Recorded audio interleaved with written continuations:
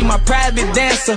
You can call her phone, bitch, she ain't gon' answer. You can call her phone and I probably answer, nigga. Go.